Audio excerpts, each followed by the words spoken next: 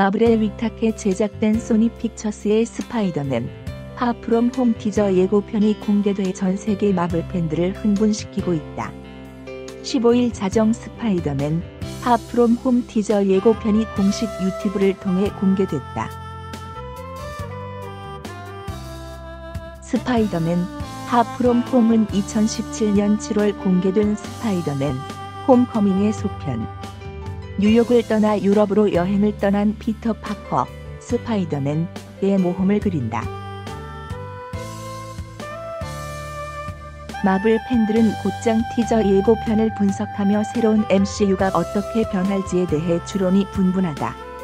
일단 스파이더맨, 파 프롬 홈은 어벤져스, 엔드게임 이후로 보인다. 어벤져스, 인피니티 워에서 사라진 스파이더맨과 닉 퓨리가 다시 등장하는 것 자체가 엔드게임 이후 타임라인으로 여겨진다. 포스터에 표기된 여권 마크의 베를린 방문 날짜가 2019년 7월 24일인 것도 그 같은 추측을 가능하게 만든다. 새롭게 등장한 빌런들도 관심사다. 예고편에선 제이크 질레날이 스파이더맨, 하프롬 홈에서 빌런인 미스테리오로 등장한다고 예고된 것처럼 남다른 위용을 과시했다.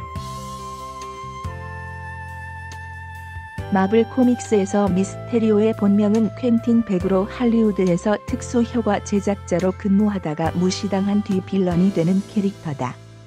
원작에선 초록색 수트와 보라색 망토, 커다란 헬멧을 쓰고 등장한다. 공개된 예고편에서 제이크 질렌할은 갑옷을 연상시키는 옷을 입고 등장해 눈길을 끈다. 미스테리오가 원작처럼 자신이 슈퍼히어로인 양 등장해 스파이더맨을 악당처럼 몰고 가게 될지도 관심이 쏠린다. 4대 원소 속성을 가진 엘리멘탈즈가 등장한 것도 눈길을 끈다. 거대한 불과 돌덩이 등이 형상화된 엘리멘탈들과 스파이더맨이 어떤 방법으로 싸울지 궁금증을 자아낸다.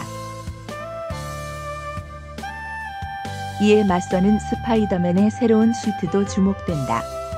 날개 달린 듯 날아다니는 모습과 스텔스 버전으로 피터 파커가 어떤 싸움을 벌일지 눈길을 끈다. 스파이더맨 파프롬 홈은 오는 7월 개봉 예정이다.